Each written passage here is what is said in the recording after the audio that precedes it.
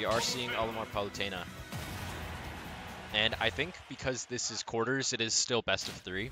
Yep, still best of three, just like the last match. All right. Three, two, one, go! Ken's playing well, not immediately getting hit by those Pikmin is like very important. Very see- scary. Yeah. I think we can see Ken clearly is ready to pay the. Okay, you're right. Uh, uh, Nair does get the ball.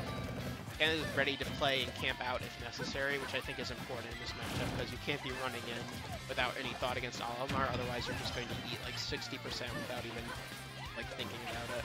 Oh yeah, Pikmin plus Olimar conversions is just crazy damage. Yeah. So I think only like the last hitbox of Nair looks like it would hit all the Pikmin. Yeah. Uh, Ken going for that edge Long guard, that which was probably it, seems like Palunair is going to be really good off stage, where Olimar's recovery does not have a hitbox, so might be a little scary for Olimar to get back on the ledge. So that wrong direction, purple F smash from Azaz early on. and I didn't playing very well here. I didn't think about it, um, Spot dodge from Ken. but I think I think Aztest here has two purples, which could be really scary for Ken. So we're gonna need good to see catch. a stock like we just did. Early kill from Ken, that's always important. So Ken with a fairly large lead here, uh, but we're gonna see if he's gonna be able to keep it. Olimar does still have a purple, so a stock might be taken very Mike early. has only really gotten two big hits in, like two combos, but those two combos have done around like 50% each, just from having the white Pikmin and hitting with the purple, yeah. which is those situations you always want to be really scared of it against Olimar. So Ken was doing a very good job, and still is doing a very good job of avoiding those large damage strings. But I think Olimar's a bit of a kind of character where it'll wear you down a little Got- bit. Double purple out now too, which is very scary, just because it gives Olimar a lot of out of corner options with throwing the Pikmin. Oh yeah. But it, it has been two minutes and only one stock taken from each side here. So I'm wondering if Ken's going to be able to keep up uh, playing this well and this composed and neutral to avoid all the Pikmin, or if this will slowly get more and more uh, favored for Mike. I honestly don't know. I think it's just something we're gonna have to wait to see. Uh, yeah, stocks are from- even though. The techs from getting hit by purple Pikmin are always really unexpected if you're not like paying absolute attention to the order. See, as Azaz pretty much evened up the game very quickly. What I was saying about how you can just eat a ton of damage against Olimar. Uh, still has double purple, so there's potential for a shield break with down smash. There's super early kill potential. Maybe not this early, but a forward smash at ledge might do it here if it's purple. We've seen Mike also go for these uh, edge guards using purple to throw them off, just have a hitbox recovering Oh yeah. like a diagonal recovery angle, so it's forcing Ken to either recover high or recover low. Recovering low being very scary against Olimar, so but like see where where Ken recover Yeah. high. Oh, I don't know if Olimar has a lot to catch recover high besides just a hard read up air. Probably just up air, but um, I think it will be a little, little scary for Ken at, at ledge because Is the worst quarterfinal here supposed to be clipping like that? I'm not sure, but it's it's fine. Um, Ooh, that Wow, down that smash connected. caching. I did not think that down smash was going to hit.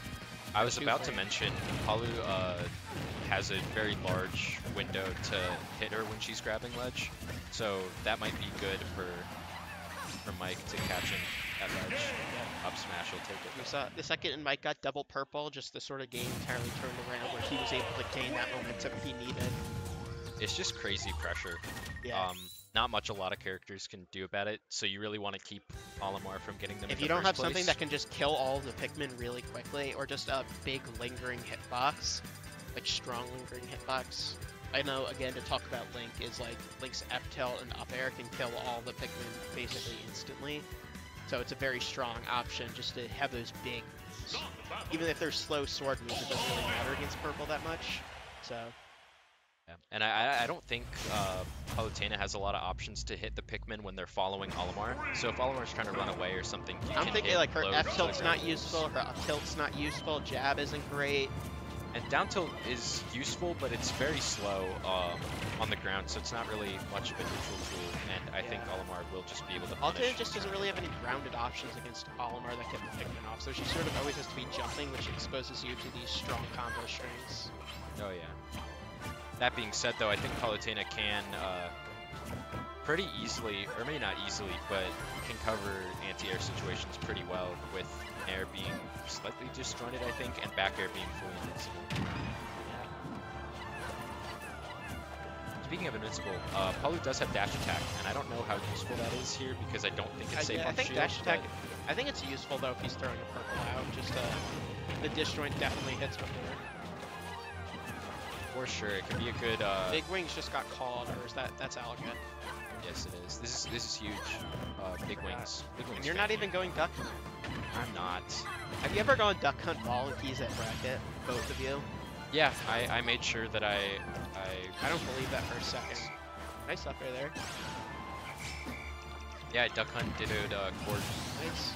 There we go. back air taking it. Um, very reminiscent of the last game where Ken got uh, an early lead. This time less of a lead, but still a lead.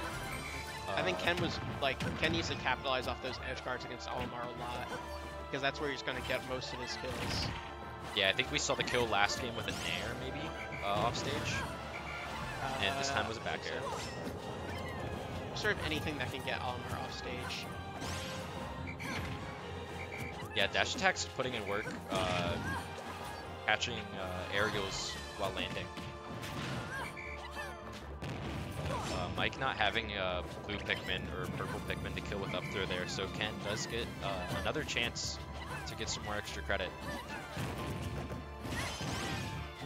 Mike already being at 60%, which was a larger lead than he had last game, I think. And we honestly might see a stock This is a here if he plays the sledge game right.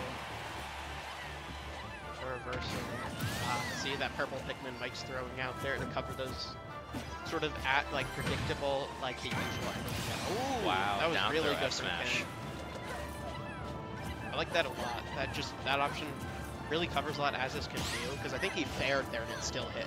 So Yeah, I, I think it was supposed to read an air dodge, but it whip punished or outspaced maybe the. No, I think it was air. just faster. It, it honestly just looked like it was faster. Uh, and I think it would have covered like unless he like jumped away or something that would have hit. So that was a really good option for Ken. Olimar advantage state though, getting 53 in one conversion is kind of crazy. And that down smash with only one purple almost killed. So Uh, F smash does the purple F smash does so much. You're not even just sends so far.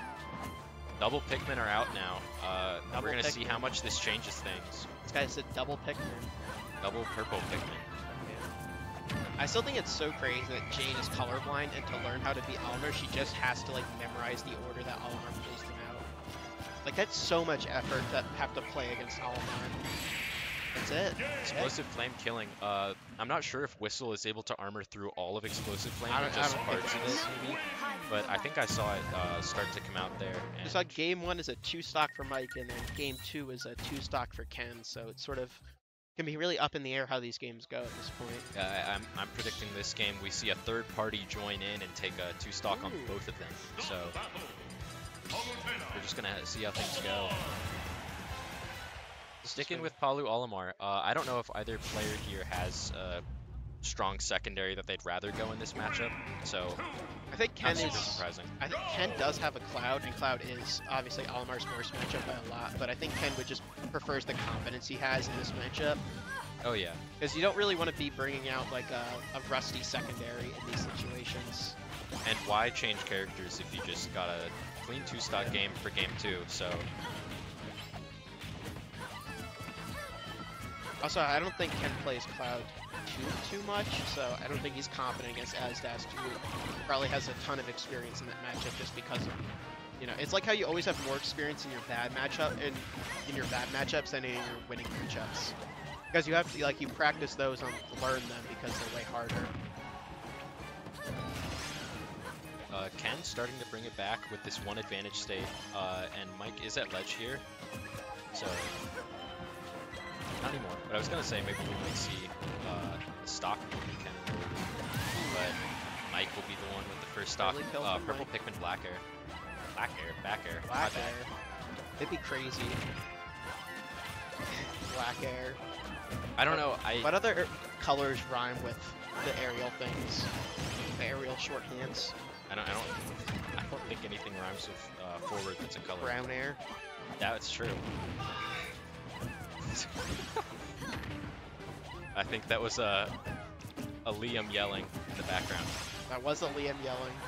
Liam playing MXC over there. MXC's random. A lot of randoms today. Explosive Flame not gonna kill there. Um, I think it was just the last. I think if there was like a bit more percent where he got hit by the like the part that brung him closer to the center, I think that could have killed. yeah. Mike uh, doing a great job at avoiding that that nair that Ken tried to get. Um, and almost got a reversal there, because like I was saying, Palu uh, does kind of have a large window to hit her, so it it could be uh, like right there. That that could lead to kills from Mike uh, for reversals. So kind of scary to go off and do those, but at this point Ken needs the stock, uh, Yeah. just like he got. So Ken's in a dangerous position where he's not going to be hitting Olimar as far away, which actually might be beneficial. Thinking about now. Sort of like because Olimar is like a character that has a lot of dangerous close range options, but also you don't want to get too far away from them. Otherwise, they just start pulling Pikmin and throwing them at you. yeah, But we've seen Ken is definitely able to bring this back. uh, kind of unfortunately, I think that uh, that F tilt on platform I think was supposed to be a drop down forward air, which I think would have been safe on his shield, but he gets backered with the punish. And coming back from uh, a deficit while Mike has double purple is pretty scary. Ken's also clearly been approaching a lot